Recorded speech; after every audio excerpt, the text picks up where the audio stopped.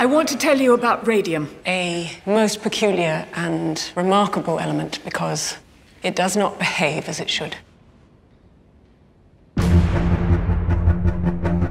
Science is changing. And the very people who are running science are the people who believe the world is flat. And I'm going to prove them wrong.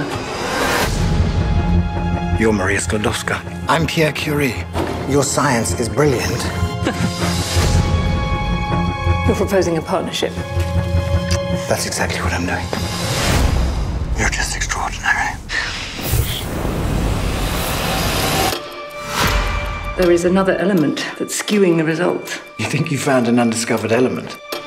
You have fundamentally misunderstood the atom. Our work's been nominated for the Nobel Prize for our discovery of radioactivity.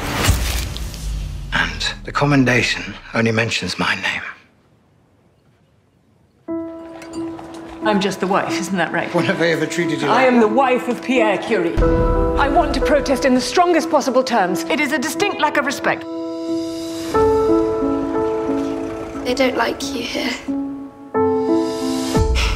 When have other people's opinions ever affected anything I've done?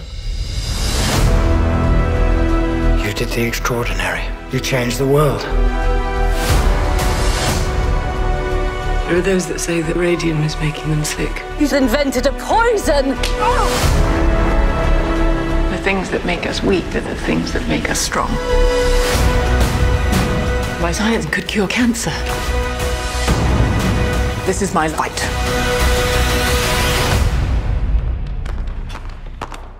And I will win it.